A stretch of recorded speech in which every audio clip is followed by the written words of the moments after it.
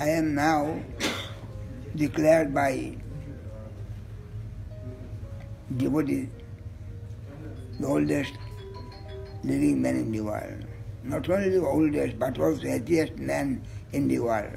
This is my thinking that desireless life is the root cause of my longest life. Desireless life. And tension-free life.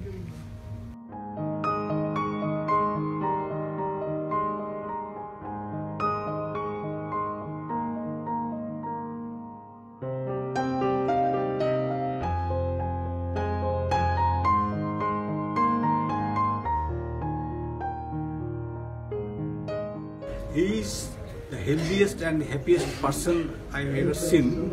In fact, I am learning from him because his lifestyle, from his lifestyles, there are so many things that if people learn and follow, they will lead a little bit of more healthier and peaceful life.